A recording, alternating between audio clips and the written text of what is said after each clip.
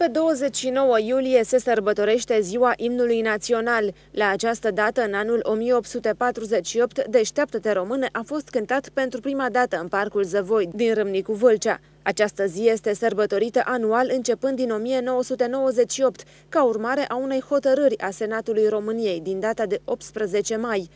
Pentru reghineni, ziua reprezintă un moment de meditație la sentimentul de patriotism. Pot să spun doar atât și afirmativ și apăsat. Fiecare român să deștepte așa cum spune imnul. Deșteaptă-te, române!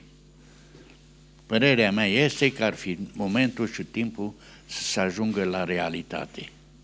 Le dorim să fie mai patrioți, mai patrioți în sensul adevărat al cuvântului, adică să uh, își facă munca fiecare la locul lui așa cum trebuie, să fie serioși și în același timp să țină la țara lor, bineînțeles. Nu suntem destul de patrioți.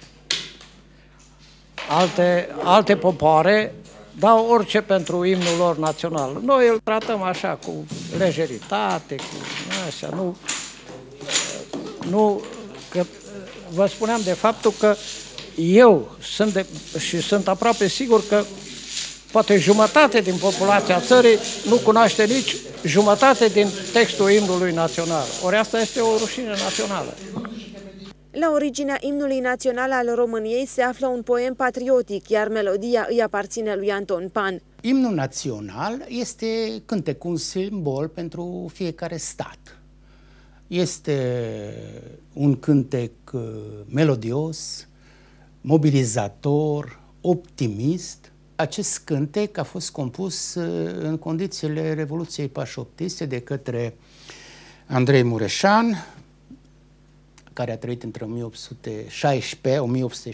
1816-1863, profesor la Brașov, redactor la Gazeta de Transilvania și la suplimentul acela uh, foaie pentru minte, inimă și literatură, unde a și fost publicat uh, acest text.